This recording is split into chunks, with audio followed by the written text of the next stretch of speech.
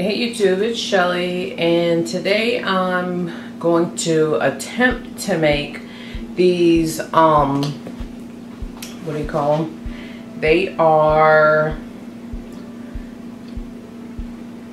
cheesy potato pancakes.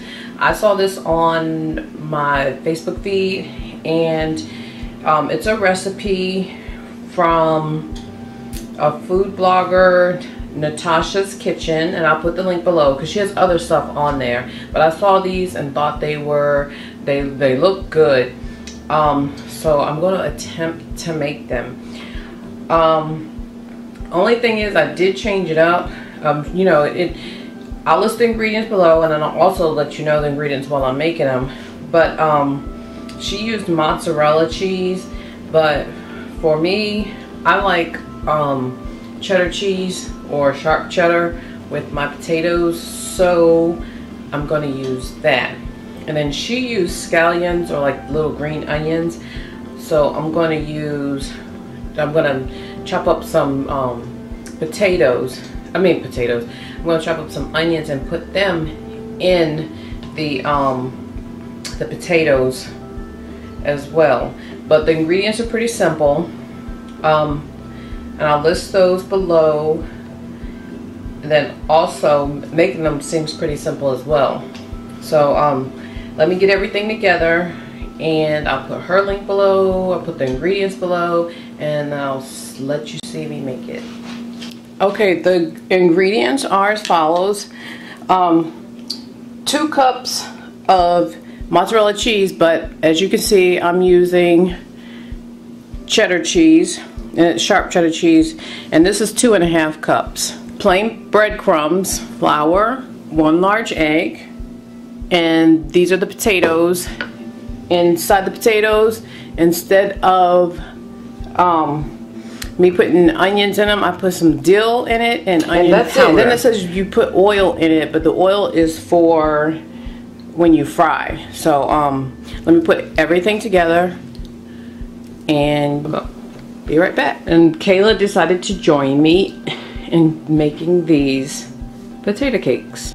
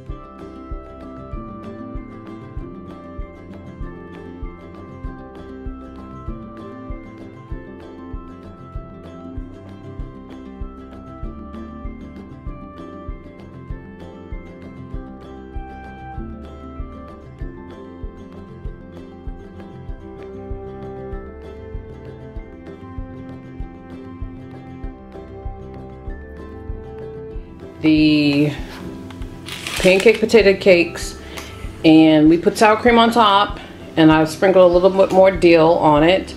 Um, my suggestion is when you first try the recipe out, don't use four cups of potatoes, half the recipe, and then um, if you like it, then go ahead and um, you know do the full recipe because four cups of potatoes is a lot, and even though it's five of us eating um, eating these, We it does. one cup. Yeah, it that is a lot. So we're Kayla's gonna taste it and let you know how it is. Okay, now Kayla's gonna taste it and let you know how it tastes. And by the way, um, if you make these, uh, make sure that the potatoes are completely cooled because the cheese will melt. Tastes good. So Natasha's Kitchen, potato pancakes or potato cakes. Kayla gives it a what? A thumbs up? Thumbs up. Okay, till next time. Bye.